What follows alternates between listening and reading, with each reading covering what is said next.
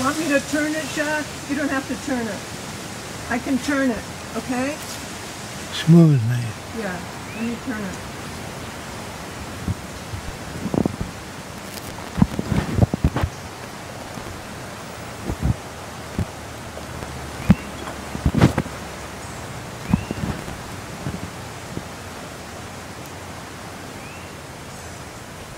The Venus Project is a way of living, a lifestyle, in which we have to change many concepts that are normal today.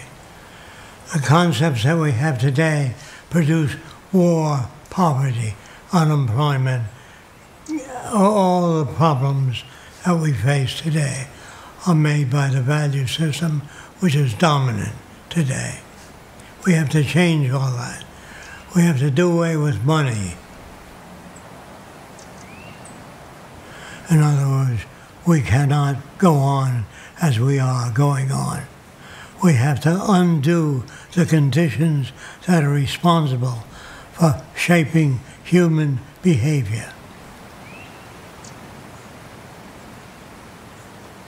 We have distribution centers that distribute goods and services to all people equally. That's the only way you can cure the problems